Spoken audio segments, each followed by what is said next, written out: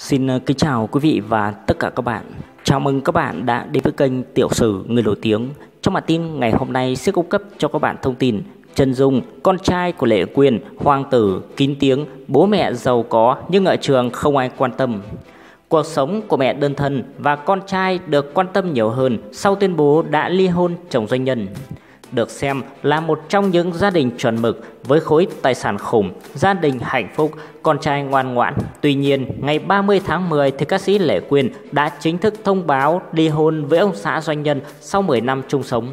Khép lại cuộc hôn nhân từng được nhiều người ngưỡng mộ, Lệ Quyên xem chồng cũ là bạn, là người thân, cả hai chọn cách chia tay văn minh để cùng nhau nuôi dạy con trai. Thời gian gần đây thì những ồn ào liên quan đến việc Lệ Quyên và chồng đã đường ai nấy đi khiến cho ai cũng quan tâm và chờ đợi câu trả lời chính thức từ người trong cuộc. Đến khi cả hai đã có những phát ngôn chính thức thì ngoài một số ý kiến chúc cuộc sống mới của họ sẽ tìm được hạnh phúc mới, số còn lại đã không khỏi dành sự quan tâm đến bé Bo, Lê Kỳ Anh, con trai của Lệ Quyên và doanh nhân Đức Huy vốn là người rất kín tiếng chuyện đời tư, nhất là về cậu con trai của mình. Vì vậy, Lệ Quyên rất hiếm khi đăng ảnh con hay chia sẻ về quý tử nhà mình. Mãi đến khoảng thời gian gần đây, khi mà cậu bé được mẹ cho lên sóng nhiều hơn, mọi người mới bất ngờ khi mà bé Bo mới 9 tuổi đã lớn phỏng phao, cao gần bằng mẹ.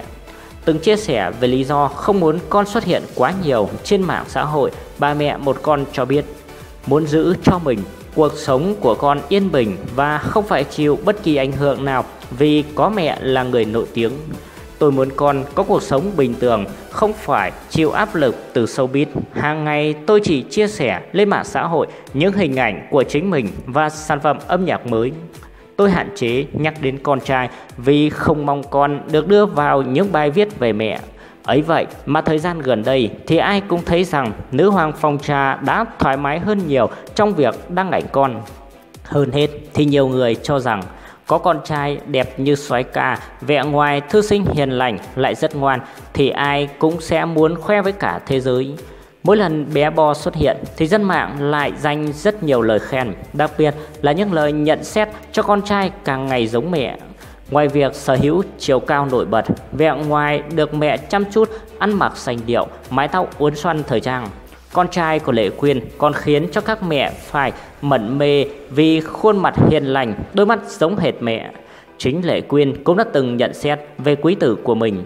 Mẹ thích ánh mắt nồng nàn của em. Em có đôi mắt toàn trong đen giống mẹ. Mẹ tin em sẽ là người đàn ông tử tế, tự trọng và biết yêu thương đàn ông, nam nhi, đại trưởng phu, con trai nhỉ, love you. Tôi thấy tính cách của con trai hiện tại có 80% là của mình, Bo giống hệt tôi hồi còn bé, ngoan nhưng bướng. Cả Bo và tôi khi bé đều rất ưa sự nhẹ nhàng, mềm mỏng, chỉ cần nói ngọt bé sẽ làm ngay. Chỉ cần thay đổi tông giọng một chút, con trai tôi sẽ làm ngược lại, kể cả ăn đòn cũng được. Bé cũng là người cứng cỏi và tự lập, từ lúc nhỏ đến giờ, con trai tôi chưa bao giờ khóc nhè vì nhớ mẹ. Có buồn lắm thì cũng chỉ nói với các cô giáo rằng Boy nhớ mẹ quá. Lệ Quyên đã từng chia sẻ trước đó về con trai cưng. Sinh ra trong gia đình nổi tiếng nhất nhì showbiz. Bố là doanh nhân thành đạt nên cũng dễ đoán được cuộc sống của bé Bo đầy đủ đến mức nào. Lệ Quyên không để con trai thiếu thốn bất kỳ thứ gì, mặc đẹp, xe sang đưa đón, học trường quốc tế, học phí đến gần 350 triệu đồng một năm. Tuy nhiên, điều khiến các phụ huynh phải nể ở Lệ Quyên chính là cách dạy con ngay từ nhỏ. Không giống tính cách của những đứa trẻ được sống trong điều kiện giàu sang từ khi lọt lòng, bé Bo được nhận xét khiêm tốn, rất ngoan và không bao giờ thể hiện bản thân là cậu ấm. Để có được điều này, Lệ Quyên tuy cho con ở môi trường sống vô cùng đầy đủ, nhưng song song đó thì vẫn dạy con đạo đức và cách sống. Dù biết điều kiện gia đình khá giả, bố mẹ là người nổi tiếng, nhưng cậu bé 9 tuổi vẫn sống biết rất bình thường. Bé rất ngoan, không hề tỏ ra hống hách hay vô lễ với bất kỳ ai. Một đứa trẻ nếu như được giáo dục cẩn thận, kỹ càng ngay từ khi còn bé thì lớn lên chắc chắn nó sẽ có tư duy khác biệt. Con cứ tìm mọi cách dạy cho nó rằng mình sang chảnh lắm, mình như thế này, như thế kia thì tôi không bao giờ làm bé bò qua lời kể của mẹ.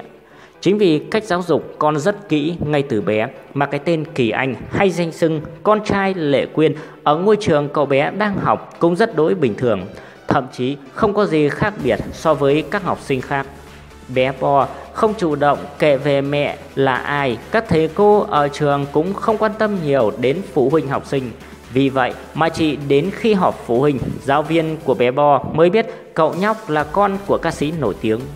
Ngoài ra, vì học tập ở môi trường quốc tế với chủ yếu là giáo viên nước ngoài, bạn bè cũng đến từ nhiều nước nên mỗi ngày đến trường với con trai của Lệ Quyên đều không gặp bất kỳ sự chú ý nào. Việc con được học tập và vui chơi bình thường như các bạn cũng chính là điều mà Lệ Quyên mong muốn.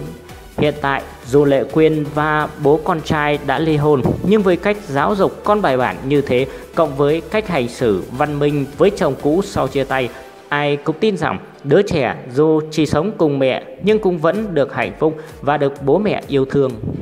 Cảm ơn các bạn còn quan tâm theo dõi. Các bạn đừng quên bấm like, đăng ký kênh để ủng hộ chúng tôi.